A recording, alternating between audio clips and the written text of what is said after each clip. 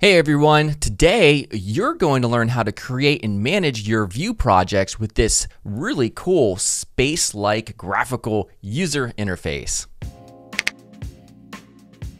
Oh, and hey, I'd like to point out this video's awesome sponsor, Skillshare.com, which offers thousands of classes in design, coding, business, and more. For instance, you're about to watch my Vue tutorial, but if you're new to Vue, you could watch this full Vue course at Skillshare. Now, Skillshare is just 10 bucks a month, but if you're the first 200 students to use my very exclusive link below in the description here in YouTube, then you get the first two months free. All right, so let's get started. So today we're going to take a look at what's called the Vue UI or user interface. And this is a command that you can issue to the Vue CLI or command line interface after you install it, and it will launch a browser with this user interface here and it's really handy. But in a nutshell, what it allows you to do is to both create projects and also manage those existing projects through this user interface. It allows you to add and remove and configure plugins and dependencies.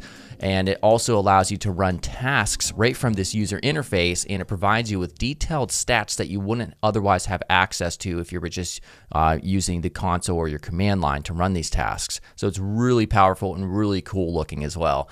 Um, so for today's question, how much experience do you have with Vue. I decided to make the question relevant based on this topic today. So just let me know in the, um, the, the comments. I'll let you know my thoughts. And also, maybe if you don't have experience, maybe you want to have experience and maybe you want to see more Vue tutorials.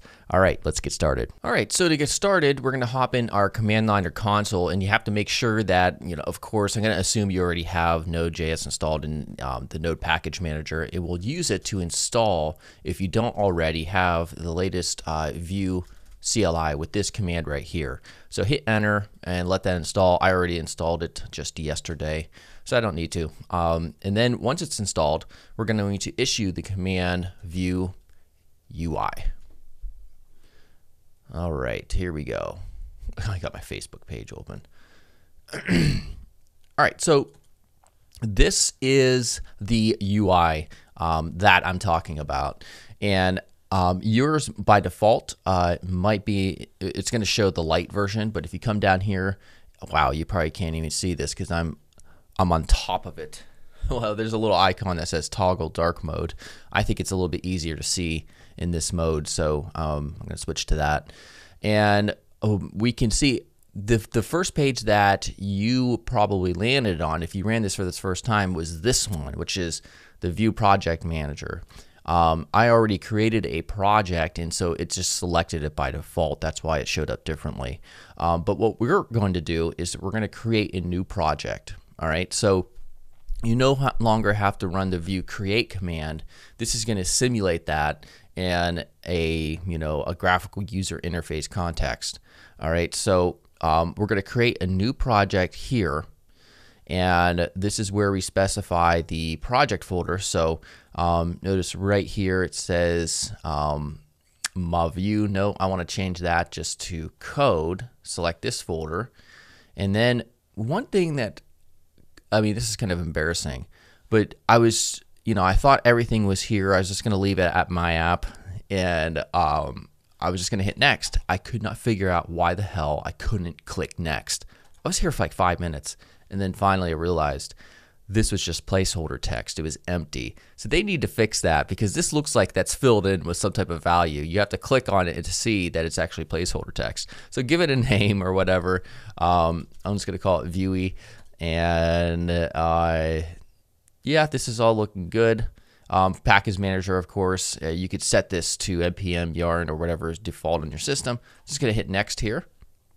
All right, so now we could select uh, presets. So this is the same uh, thing that you would see if you typed in Vue create and whatever your project name is in the uh, command line, um, except it's just here in this visual context. So we'll select manually select features and hit next. All right, and so we can see that by default it has Babel. Um, we can add TypeScript. We can add PWA support. Let's do that to make it a progressive web app. And as you can see, I mean, from a user experience standpoint, um, using this as opposed to just the console or command line, um, it's a lot nicer, I think. Especially we have the more info button. So if you want to learn more about PWAs, well, let's click on that and there we wait. That doesn't make sense. There we go. Wait, no. Oh, the Vue. I, I, thought it was just taking me straight to the Vue CLI. It's actually the the uh, CLI plugin. So so now it's going to tell you um, everything you want to know about this particular um, plugin right here or feature. All right. So I think this is good. We'll be good with this for now. So um, let's go ahead and hit next. And it's going to give us a configuration section here. So pick a linter or format, conf config. Uh, you could select this stuff right here.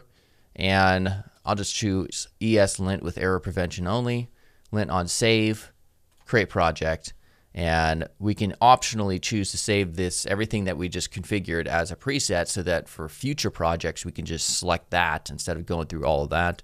Um, I'm just going to continue without saving. And so now we have a nice interface here where it's letting us know that it's installing the Vue CLI plugins.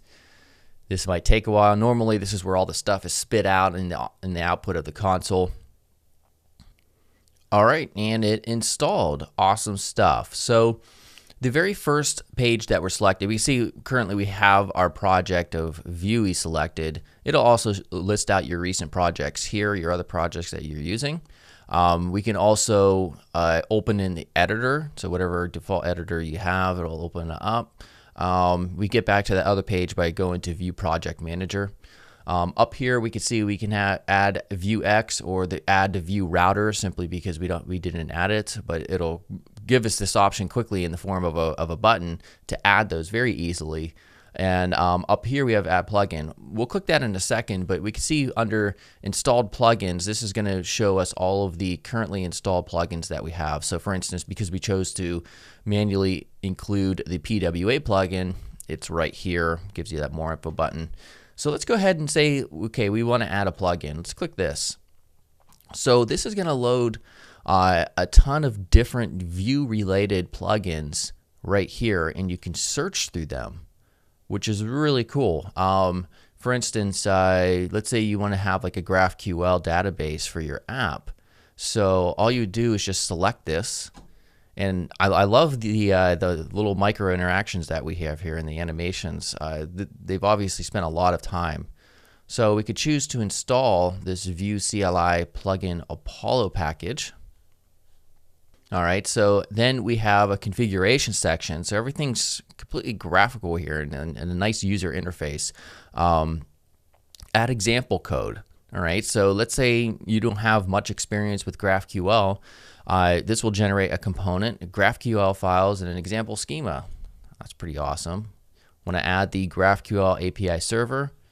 Sweet. Let's add mocking, and let's hit finish installation. All right, so then we click continue, and there we go. We have our new Apollo plugin. Awesome, awesome stuff.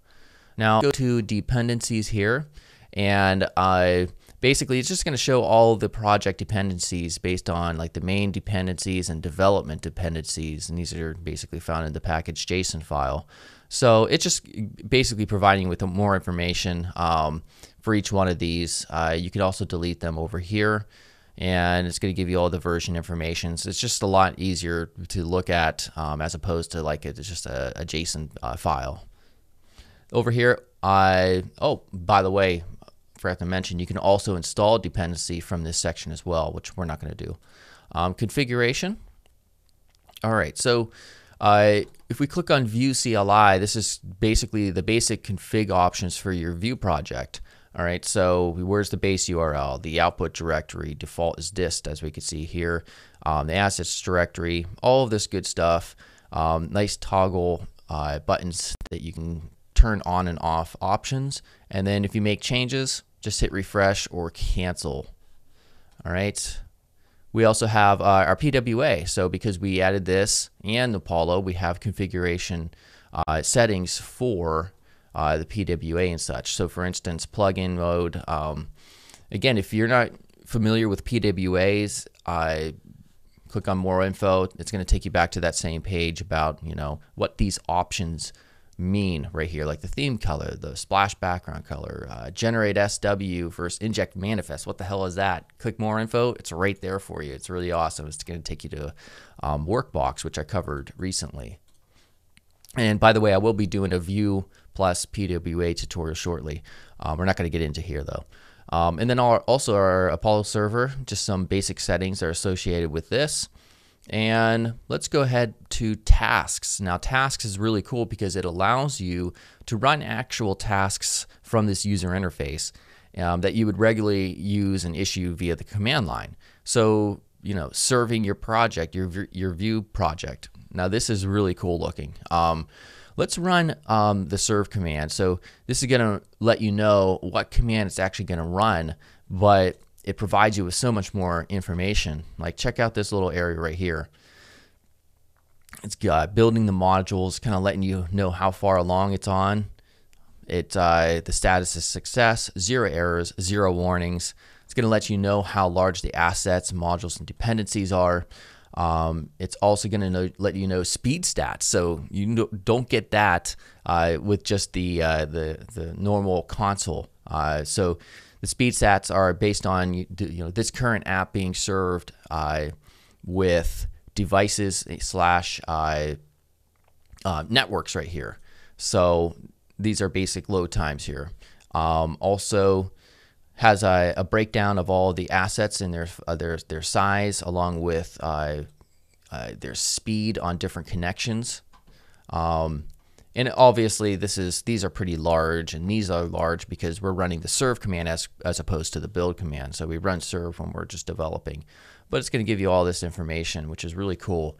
Um, it also has an output, so this is just showing you what you would see in your your, your console. Um, it has an analyzer. Look at this, very impressive stuff. Just kind of a, a chart-based approach to viewing file size uh, based across your different dependencies and such. All right.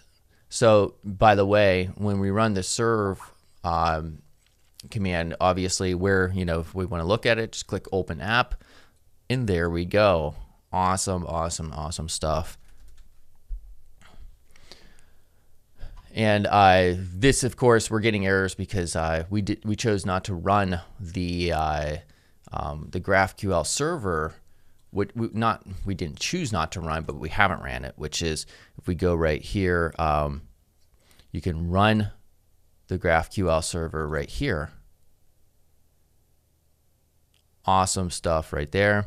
And then you can even uh, you could hit the play button to get a response here. This is kind of like the playground thing. I'll be covering GraphQL in the future. All right, uh, but yeah, basically this is uh, very impressive. So if we go to our uh, application tab, we have our service worker and also our manifest, which this is where all this stuff is coming from um, the configuration section of our PWA right here. Um, we can now see that it's a, an actual PWA, Progressive Web App. All right, so let's uh, run one more command or task. So let's stop this task and let's go to build and then we'll choose run task. All right, so we'll see this over here. This is our, our, our visual indicator of where things are. And you'll see the assets and modules dependence, everything's going to be a lot, lot smaller um, as opposed to the other one. So this time it says we have three warnings, which we can check the, uh, the output here for that and it's going to tell you, you know, everything normally that you would um, encounter. So, yeah, that is basically it. All right, so hopefully you found that helpful. For today's question, make sure you answer it. How much experience do you have with Vue? And maybe if you don't have any, uh, are you interested in learning more about Vue? Let me know in the comments. Make sure to subscribe, and I'll see you soon.